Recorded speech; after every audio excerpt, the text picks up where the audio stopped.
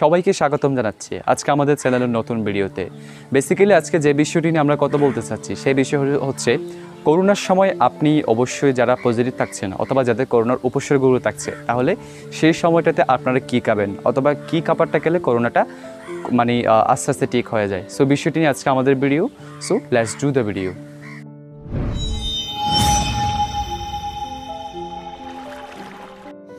so যে বিষয়টি নিয়ে আজকে কথা বলব, সেই বিষয়টি হচ্ছে ওয়েল ব্যালেন্সড ডায়েট ডাব্লিউএসও একটা নির্দেশিকা দিয়েছে, কি পরিমাণ খাবার খাবে, কি পরিমাণ খাবার খাবে না, সেই বিষয়টি নিয়ে আজকে আমাদের ভিডিও সো যে বিষয়টি হচ্ছে ওয়েল ব্যালেন্সড ডায়েটে অনেকে কিন্তু যেটা হচ্ছে দুই কাপ পরিমাণ সবজি, তিন কাপ পরিমাণ যেটা হচ্ছে ফলমূল, তাছাড়া হচ্ছে বিশেষ কিছু গ্রামে আপনাকে শস্য দানা খেতে হবে অথবা আপনাকে মাংস খেতে হবে। ওয়েল ব্যালেন্স এটা সুষম খাবার আছে। এটা অনেকে কিন্তু মেনটেন করতে পারে না। আরেকটি বিষয় হচ্ছে, অনেক জায়গায় দেখেছি, অনেক জায়গায় যে বিষয়টি দেখেছি, সেটা হচ্ছে আপনার বলা হচ্ছে এই খাবার খেলে আপনার করোনা চলে যাবে, এই খাবার খেলে করোনা থাকবে। বিষয়টা হচ্ছে সম্পূর্ণ এমনটা নয়।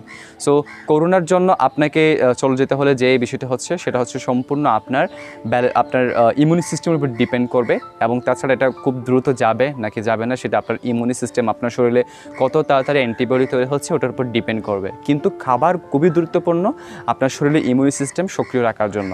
এই ক্ষেত্রে আপনি যদি ভিটামিন এ বি সি এগুলো যদি মেনটেন করতে চান, তাহলে আপনার সেই ক্ষেত্রে যে ওয়েল ব্যালেন্সড ডায়েটটা আছে সেটা আপনাকে ফলো করতে হবে। তার পাশাপাশি আপনার ভিটামিন ডি এর ঘাটতি দেখা যায়, আপনি যেহেতু বাসায় বন্দি থাকবেন, আপনি সেলফ আইসোলেশনে থাকবেন অথবা হসপিটালে থাকলে অবশ্যই আপনি যে বিষয়টা হচ্ছে আপনি সূর্যের আলো পাবেন না, কারণ ভিটামিন ডি সূর্যের আলোতেই কিন্তু শুধুমাত্র পাওয়া যায়।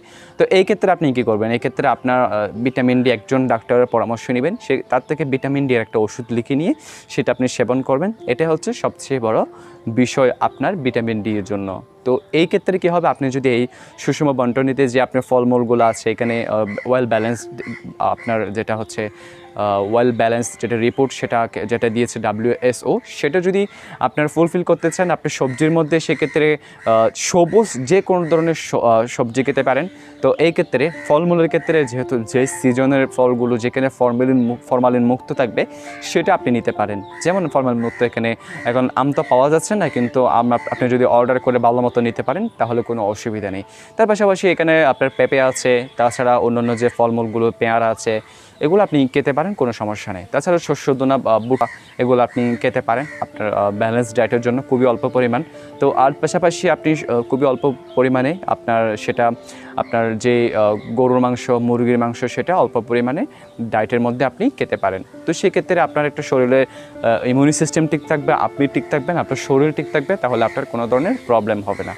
সো আশা করি আমি মেনটেন্যান্সটা কীভাবে করবেন সেটা আজকে বোঝাতে পেরেছি। আশা করি আপনাদের কাছে আমার বিষয়গুলো ভালো লেগেছে। যদি ভালো লেগে থাকে অবশ্যই এটি লাইক করবেন। আর তাছাড়া আমাদের চ্যানেলে অন্য ভিডিও তাছাড়া বিভিন্ন ভেরিয়েন্ট নিয়ে ভেরিয়েন্টে কী কী হয় টিকা নিলে কি হয়? টিকা নেওয়ার আগে কী কী করা দরকার এই বিষয়ে আমরা ভিডিও বানিয়েছি।